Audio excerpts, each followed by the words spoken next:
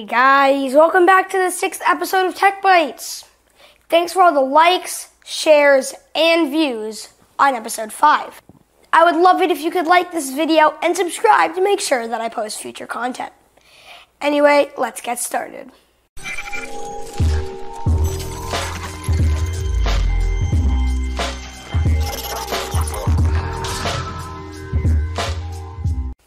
This first article comes from ZDNet, a general tech news site.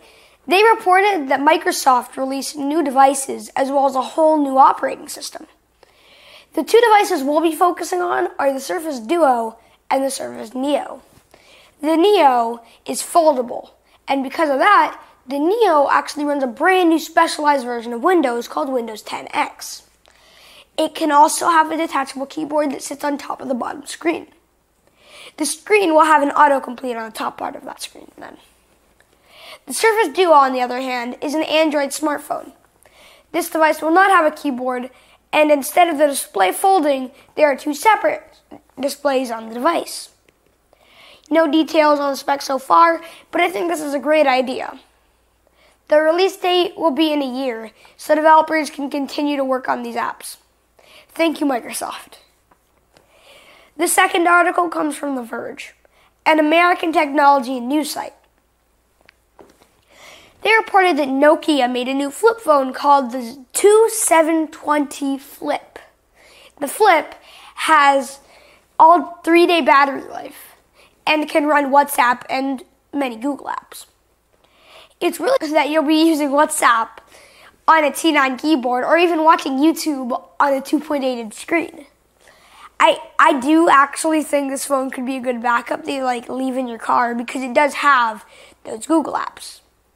Also could be used as a pretty nifty audio player or music streaming device. Article number 3 comes from Android Authority, a general gadget news site. They say that Facebook, which is the parent company of Instagram, made a new app called Threads from Instagram. This app is meant to be just for sending Instagram stories to close friends. But if you remember, they already implemented this feature into the regular Instagram app. So it's really confusing as to why they made it a separate app. Facebook says that this is like a camera app, but doesn't even have any of the special features or effects that regular Instagram has. The, this app also doubles as a messaging app like Facebook Messenger. Generally, I don't see how this will appeal to anyone, but somehow it already has 10 thousand downloads. So maybe this won't be a flop. We'll see very soon. This fourth article comes from Wired, a monthly American magazine and daily news site. They reported that a bug in Android could completely take control of your phone. The hack could be exploited by, by visiting sketchy websites or by using an untrusted APK instead of one in the Google Play Store. This hack also affects the Pixel 1 and 2, as well as many Samsung Galaxy phones.